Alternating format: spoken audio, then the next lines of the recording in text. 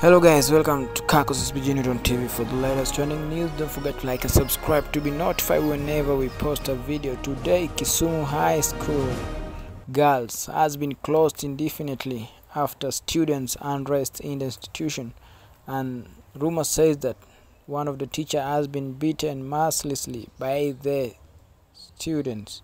What's your opinion about this? Don't forget to like and subscribe for more.